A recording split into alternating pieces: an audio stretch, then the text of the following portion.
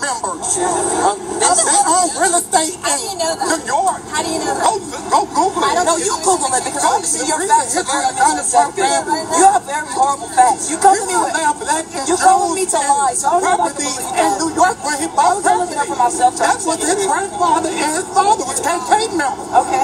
So read the history. KKK members, you mean Yes. KKK members? They I don't was Ku that's. Klansmen. KKK. Klansmen, okay. Who's against your color? Okay. Against your skin?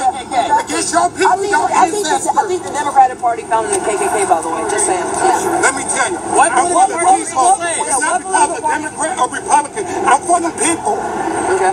That's good. The people are united, will never be defeated. Okay. And that's what I believe in. Trump, Donald Trump trying to divide the country. He's not trying to divide us. Yes, he is. He's trying to unite us.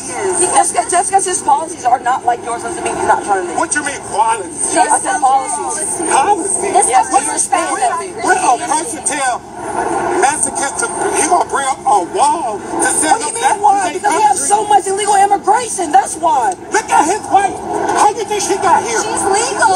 She's not legal. Yes, she She's from. Europe. There's a way to legally immigrate. Exactly.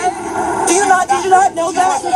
You don't know that. That's, oh my God! It's not that you. Yeah, because you don't know anything. You you need to go learn how to spell your first name, go to college, get a high school education, and, and then you come back and talk to me.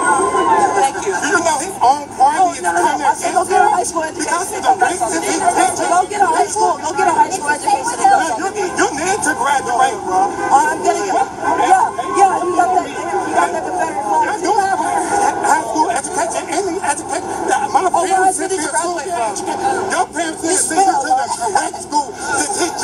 Donald Trump. The history of Donald Trump is racist. There are so many schools in Georgia. There are so many high schools in Georgia. You will learn, young man. You Okay. will learn. Can you stop spitting that truck? That's all I got to say. You will learn. Thank you. Are you done?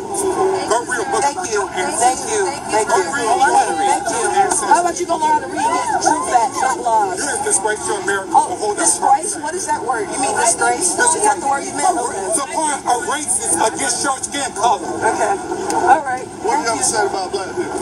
Yeah, what did I ever what say? Trump ever say about black people. Thank you. You on TV? You on TV? What do you ever say about black people? What did you ever say? Did you see that? He said black We're lazy. right. He said black people are lazy.